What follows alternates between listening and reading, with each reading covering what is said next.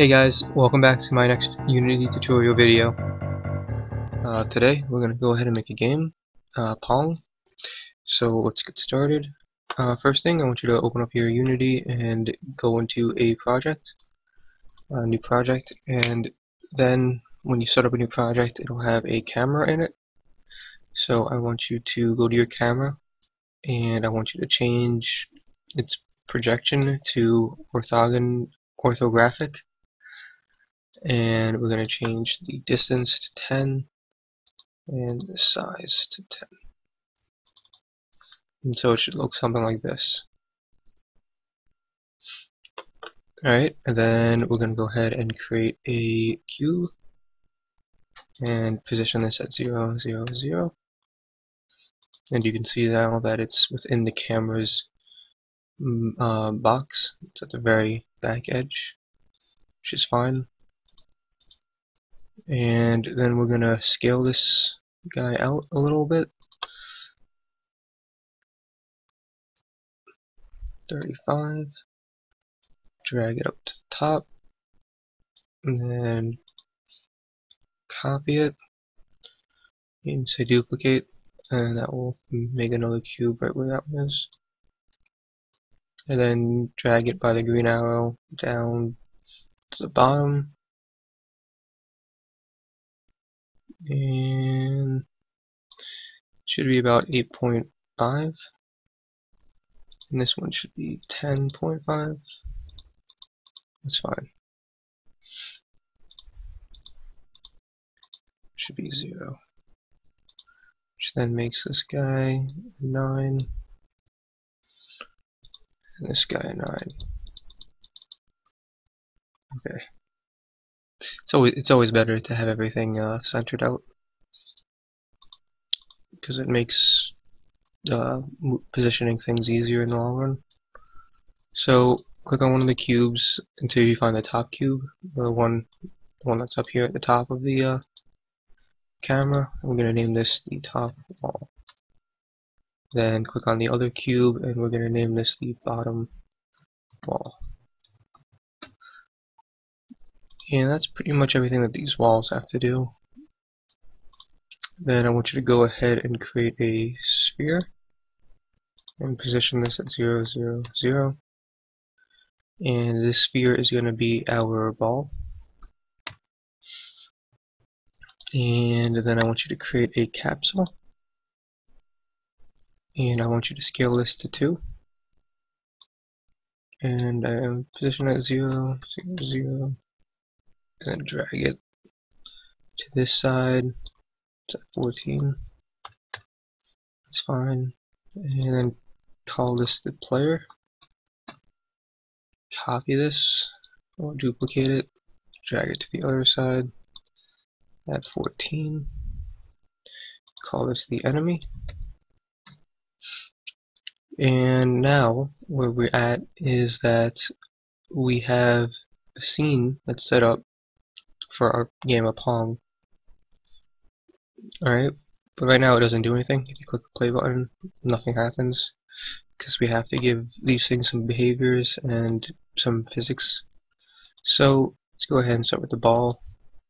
You can go ahead and go to physics, rigid body to attach a rigid body to it. Um, change the mass of the ball to 0 0.01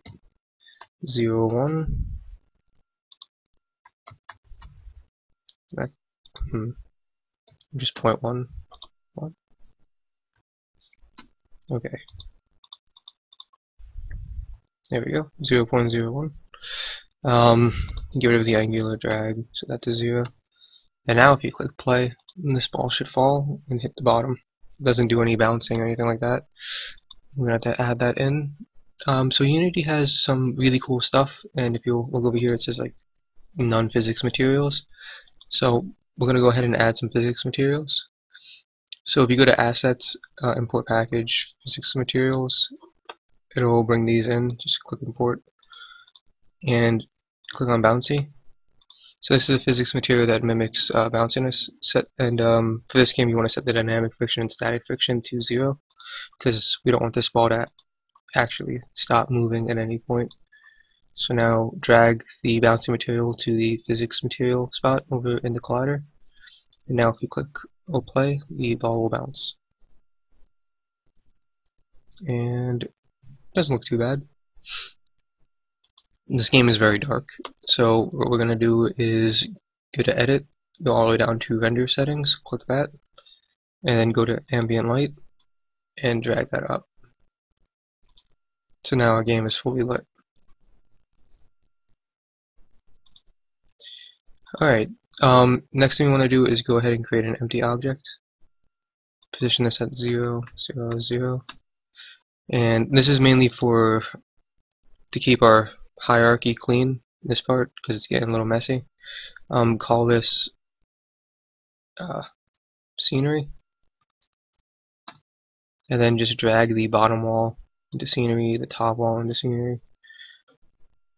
And the game still plays exactly the same, nothing changes. It's just a way of grouping up some objects so that uh, it's easier to find other objects later on. Alright, so I'll go to Assets, create a folder, and call it Resources.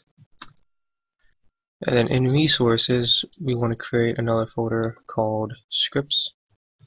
And we're going to go ahead and start modifying our behavior of objects. Um, so, the first thing we want to do is call a player script. And this is going to be for the player, right there. So you can drag a script and attach it to an object and you'll see that it gets added into it right over here.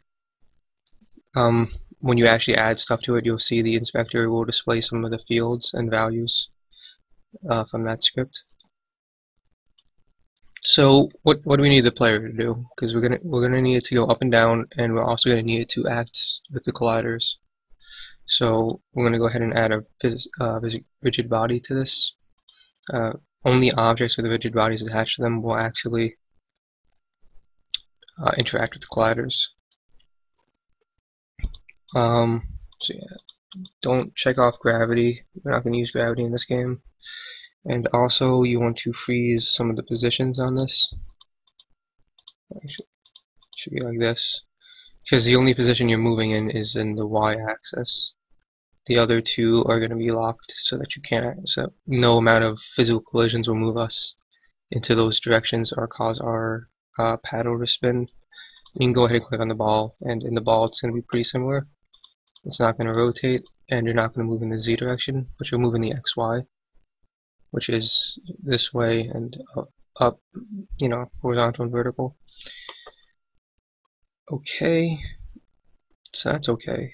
Our player now has a rigid body attached to it, so it will interact with colliders. So now we need to go ahead and open up MonoDevelop and give this guy some behavior. Um, what we're going to do is we're going to assign some movement keys for him and we're going to give him some velocity that allows him to move in those directions. Okay, this is a mono behavior script. It has starts out with two functions the start and the update. Um, you can use start for initialization and update is called every frame, and this is where the main update logic goes. So what we're going to do is going to give this guy public float speed. I'm just going to set this to zero, and then we're going to say if input dot get key. And I'm going to use W for up and S or yeah W for up and S for down. And then if input dot get key dot S alright so now we just gotta actually do something in these functions. Um, transform is the the transform is this part and this has a translate function which translates a object to a, by a certain amount so like a certain distance from a vector 3 So if you put 0, 0, 0, it'll translate no direction. But we already know the only direction we want to move is in the y. So it's going to be 0, speed, speed, 0. And that should go up. And copy that and paste it. And then negative speed to go down. So if we save the script and we look at our player in the inspector, we'll see that there's a new field in the uh, the script, which is called speed. And from here you can actually set the value. So we're going to set it to 5. And then you can click play. And you'll see that he kind of moves really fast. It's very jerky and a little, little awful. So the way the way to fix that is to times this by time dot delta time, which is just a way of saying that I want this to be in time with the game's frame rate, so that gets rid of jerky behavior. Now if you look at it, it's much smoother and it also hits the wall now. See? It's very nice. Alright, so that's pretty much the player. He doesn't really do too much other than this. Thanks for watching, and I hope you guys enjoyed. Uh, click on any of the links on the screen to view our other videos, and be sure to like and subscribe. Thank you.